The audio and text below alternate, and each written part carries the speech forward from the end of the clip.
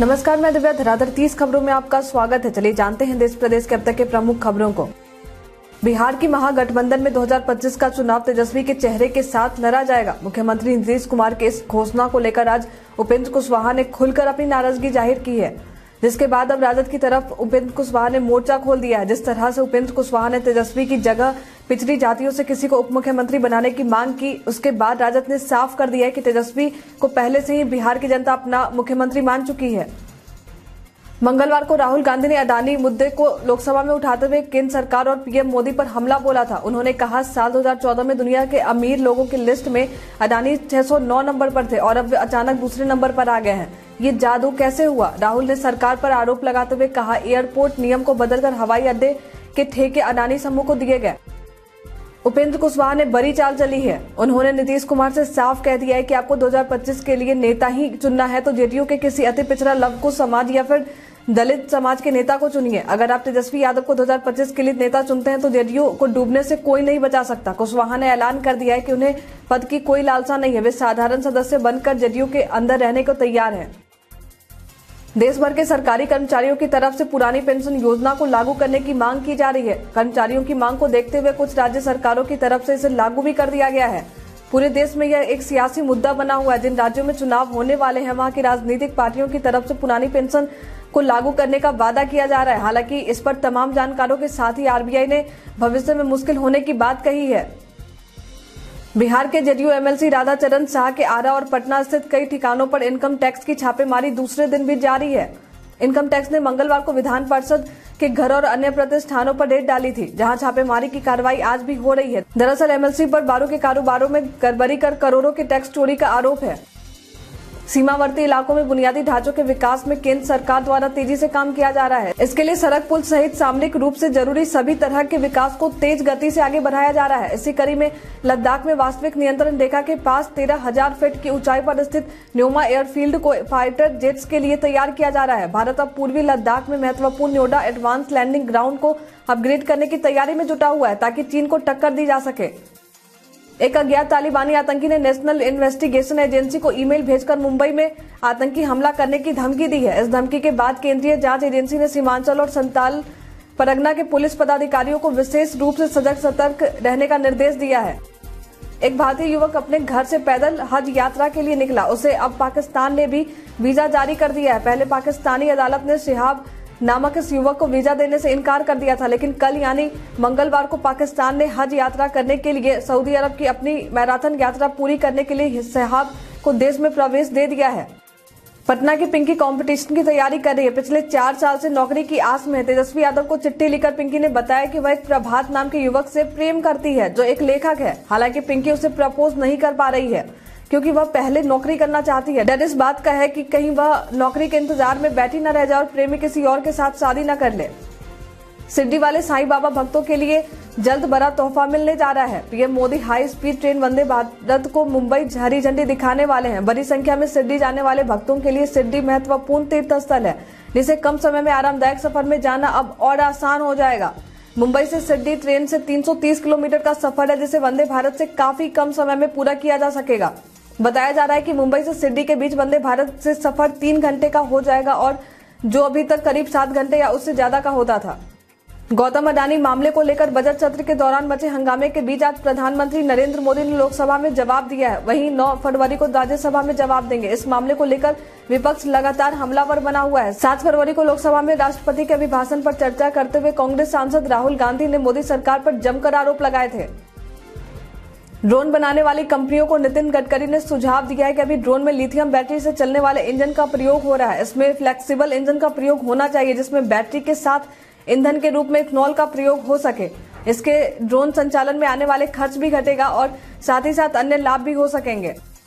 संयुक्त राष्ट्र महासभा की बैठक के दौरान पाकिस्तान के कश्मीर मुद्दा उठाए जाने पर भारत ने कड़ी प्रतिक्रिया व्यक्त की है। यूएन में भारत के अस्थायी मिशन में काउंसलर राजेश परिहार ने 6 फरवरी को कहा है कि इस्लामाबाद भारत के बारे में बार बार झूठ बोल रहा है। भारत ने पाकिस्तान की आलोचना करते हुए कहा है कि इस्लामाबाद में असुरक्षा की गहरी भावना है और इसने भारत और उसकी धर्मनिरपेक्ष छवि के खिलाफ नफरत फैलाने की साजिश रची है। यूपी बीजेपी के अध्यक्ष भूपेंद्र सिंह चौधरी ने मंगलवार को कांग्रेस के पूर्व अध्यक्ष राहुल गांधी पर पलटवार करते हुए कहा है कि गोरखपीठ के पीठाधीश्वर और उत्तर प्रदेश के मुख्यमंत्री योगी आदित्यनाथ पर उनकी कथित टिप्पणी ओछी और निंदनीय है जो, जो यह साबित करने के लिए पर्याप्त है कि उन्हें न इतिहास पता है और न ही वर्तमान का ज्ञान है। फ्रांस की कॉस्मेटिक कंपनी लॉरियल के खिलाफ संतावन मुकदमे दर्ज किए गए हैं। शिकागो शिकागो की संघीय अदालत में दावा किया गया है कि लॉरियल और अन्य कॉस्मेटिक कंपनियों वालों को सीधा करने व मुलायम बनाने के लिए कई घातक केमिकल का इस्तेमाल करती है। ऐसे उत्पादों के कारण कैंसर और अन्य बीमारियों का खतरा रहता है। अंतर्राष्ट्रीय ऊर्जा एजेंसी के कार्यकारी निदेशक फतेह बिरोल ने कहा है कि जी ट्वेंटी देश प्रेरणा के स्रोत के रूप में पहली बार प्रधानमंत्री नरेंद्र मोदी द्वारा प्रस्तावित लाइव पहल का उपयोग कर सकते हैं। उन्होंने कहा है कि यह पहल जलवायु परिवर्तन जैसी चुनौतियों का समाधान करने में मदद कर सकती है। लोकसभा में राष्ट्रपति के अभिभाषण पर चर्चा के दौरान टीएमसी सांसद महुआ मोइत्रा ने अडानी मुद्दे पर केंद्र सरकार को कटघरे में खड़ा किया और बीजेपी पर भी हम, जमकर हमला बोला है। महुआ मोइत्रा के संबोधन के दौरान बीजेपी के सांसद सामने आ गए जिसके बाद स्पीकर को चेतावनी देनी पड़ी। बलूचिस्तान में स्थानीय लोगों पर सेना और आईएसआई के कहर ढाने की जमीनी हकीकत के कवरेज से पाकिस्तान बुरी तरह बौखला गया है। इसको सीरीज़ के रूप में एक भारतीय मीडिया ने कवर किया है। पाकिस्तान ने इसको रोकने के लिए सोशल मीडिया के दिग्गज कंपनी ट्विटर से गुहार लगाई तो उसने पाकिस्तान के अनुरोध को ठुकरा दिया और इसको लेकर के किसी भी तरह से गलत होने की बात को भी खारिज कर दिया। भारत और अमेरिका के बीच जल्द ही एक महत्वपूर्ण रक्षा समझौता हो सकता है। इसके तहत भारत को अमेरिका से 18 सशस्त्र Predator drone M Q nine मिलने जा रहा है। अमेरिका के इस ड्रोन को दुनिया का सबसे शक्तिशाली ड्रोन करार दिया जाता है। इसके आने से हिंद महासागर में भारत की ताकत बढ़ेगी, जिससे चीन की गतिविधियों पर नियंत्रण रखा जा सकेगा। भारत में दूध डेयरी के क्षेत्र का तेज़ी से विस्तार हो रहा है। ऐसे में भारत दूध उत्पादन के मामले में दुनिया के सभी देशों को पीछे छोड़ते हुए नंबर वन पर गया है। इसकी जानकारी केंद्रीय मत्स्य पालन, पशुपालन और डेयरी मंत्री पुरुषोत्तम रूपला ने मंगलवार को संसद में दी है। लोकसभा में पूछे गए सवाल का जवाब देते हुए मंत्री ने बताया है कि भारत दुनिया का सबसे बड़ा दूध उत्पादक देश बन गया है। साल 2021-22 में भारत ने दुनिया के कुल हिस्से का 24 फ़ीसदी योगदान दिया है। श्रीलंका में भारतीय निवेश के लाभों को रेखांकित करते हुए पीएम गुणवर्धन ने इस बात पर प्रकाश डाला है कि लंका अशोक लेलैंड द्वारा उपयोग किए जाने वाले 90 प्रतिशत घटक स्वदेशी थे। इस कार्यक्रम में उच्चायुक्त गोपाल बागले ने कहा है कि भारत सरकार और भारतीय कॉरपोरेट दोनों ऐसे संबंध बनाने के लिए काम कर रहे हैं जो लोगों के लिए फ़ायदेमंद हो। उन्होंने कहा है कि प्रधानमंत्री नरेंद्र मोदी की पड़ोसी पहले नीति के तहत भारत के भीतर और बाहर मित्र पड़ोसियों का विशेष ध्यान रखा जाता है। भारत के मशहूर उद्योगपति गौतम अडानी इन दिनों विवादों से घिरे हुए हैं। हिडनबर्ग रिसर्च रिपोर्ट के अनुसार विपक्षी दल लगातार अडानी ग्रुप पर सवाल उठा रहे हैं। ऐसा नहीं कि अडानी पर सिर्फ़ सवाल उठा रहे हैं। उन्हें भारत के कई बड़े लोगों से समर्थन भी मिला है। इन्हीं में इन्हीं में शामिल आईएएस अफसर शाह फैसल। ने उद्योगपति गौतम अडानी का समर्थन किया। उन्होंने अडानी की तारीफ़ करते हुए कहा है कि वह भारत को शीर्ष पर देखना चाहते हैं।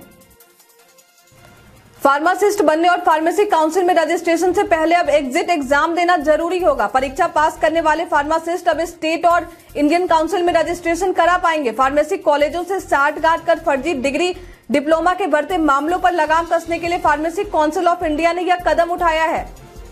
जम्मू कश्मीर की पूर्व मुख्यमंत्री और पीपल्स डेमोक्रेटिक पार्टी की नेता महबूबा मुफ्ती ने कहा कि बुलडोजरों से घरों को गिराकर भाजपा ने राज्य को अफ़गानिस्तान में बदल दिया है। राज्य में चलाए जा रहे अतिक्रमण विरोधी अभियान को लेकर केंद्र पर निशाना साधते हुए महबूबा मुफ्ती ने कहा है, बुलडोजरों की वजह से आज कश्मीर आपको अफ़गानिस्तान जैसा दिखेगा। भूटान की नेशनल असेंबली के अध्यक्ष वांगचुक नाम ग्याल के नेतृत्व में भूटान के एक संसदीय प्रतिनिधि मंडल ने मंगलवार को राष्ट्रपति भवन में राष्ट्रपति द्रौपदी मुर्मू से मुलाकात की। प्रतिनिधि मंडल का स्वागत करते हुए राष्ट्रपति मुर्मू ने कहा है कि हम भारत और भूटान के बीच बहुमुखी और अद्वितीय मित्रता को बहुत महत्व देते हैं। भारत भूटान के साथ द्विपक्षीय सहयोग के नए क्षेत्रों जैसे अंतरिक्ष सहयोग, स्मार्ट कृषि, युवा और खेल, स्टार्टअप, नवीकरणीय ऊर्जा और डिजिटल विकास में प्रवेश कर रहा है ताकि भूटान की शाही सरकार को भी सभी के लिए समृद्धि के अपने दृष्टिकोण को साकार करने में मदद मिल सके। दिल्ली की आम आदमी पार्टी की सरकार पर सीबीआई ने बड़ा खुलासा किया। सीबीआई ने कहा है कि जिस फीडबैक यूनिट का गठन दिल्ली सरकार के विभागों में कामकाज की निगरानी के लिए किया जाता था, उसका इस्तेमाल राजनीतिक दलों की जासूसी के लिए किया जा रहा था।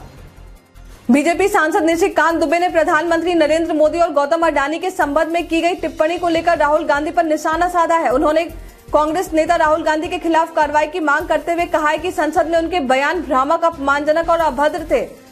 दुबे ने लोकसभा अध्यक्ष ओम बिरला को भी एक पत्र लिखा। दुबे ने पत्र में राहुल गांधी पर सदन को गुमराह करके नियमों का उल्लंघन करने का आरोप लगाया और कहा कि उन्होंने पीएम मोदी पर दस्तावेजी साक्ष्य के बिना क्रोनी कैपिटलिज्म का आरोप लगाया है। हाल ही में आए भूकंप ने तुर्की और सीरिया में हज़ारों लोगों की जान ले ली और सैकड़ों इमारतों को नष्ट कर दिया। अभी तक 8000 लोगों की मौत की सूचना मिली है। ऐसे में सबसे बड़ा सवाल अब लोगों के मन में यह है कि भारत भूकंप के प्रति कितना संवेदनशील है। सरकार के अनुसार भारत का लगभग उनसठ प्रतिशत भूभाग अलग अलग तीव्रता के भूकंपों के प्रति संवेदनशील है। आठ राज्यों और केंद्र शासित प्रदेशों के शहर और कस्बे जोन पाँच में है और यहाँ सबसे ज़्यादा तीव्रता वाले भूकंप का खतरा है। यहाँ तक कि राष्ट्रीय राजधानी क्षेत्र भी जोन चार में है, जो दूसरी सबसे ऊँची श्रेणी में है। श्री कृष्ण जन्म स्थान ईदगाह मामले में कोर्ट में मंगलवार को अजीबो गरीब नज़ारा दिखाई दिया। भगवान केशव देव को कोर्ट में हाजिर होना पड़ा। दरअसल 23 जनवरी को कोर्ट में सुनवाई हुई थी। उस वक्त कोर्ट ने छह नंबर पर वादी बनाए गए भगवान केशव देव को गैर हाजिर माना था। इसके बाद अन्य वादी भगवान की प्रतिमा बतौर वादी कोर्ट लेकर पहुँचे। चीन के जासूसी गुब्बारे को लेकर बड़ा खुलासा हुआ है। अमेरिकी अधिकारियों का दावा है कि चीन ने न केवल अमेरिका और भारत ही, बल्कि कई अन्य देशों में भी अपने जासूसी गुब्बारे छोड़े थे। अमेरिका की उप सचिव वेंडी शर्मन ने भारत समेत दुनिया के 40 सहयोगी देशों के दूतावास को इस मामले से जुड़ी जानकारी दी है। बता दें कि शनिवार 4 फरवरी को ही एक संदिग्ध जासूसी गुब्बारे को अमेरिका ने मार गिराया था। अमेरिका ने इसके लिए फाइटर जेट एफ़ बाईस की मदद ली थी। हमारे द्वारा पूछे गए सवाल का आप लोगों में से बहुत लोगों ने अपना जवाब हमें हमारे कमेंट सेक्शन बॉक्स में लिख कर दिया था। जिन्होंने हमारे द्वारा पूछे गए सवाल का जवाब दिया, उनके नाम है ललन, अनवर करीम खान, अंशु प्रिया, नुन्नू गोलू कुमार अनवर हुसैन, जितेंद्र ठाकुर विपिन वर्मा, कुशलेंद्र कुमार सिन्हा, महमूद अंसारी, अर्जुन राम और रविशंकर अब बढ़ते हैं आज के सवाल की और आज का सवाल है, बढ़ते दूध के दाम को नियंत्रित करने के लिए सरकार को कौन से कदम उठाने चाहिए? आप अपना जवाब हमें हमारे कमेंट सेक्शन बॉक्स में लिखकर ज़रूर बताएँ। आज के लिए इतना ही, धन्यवाद।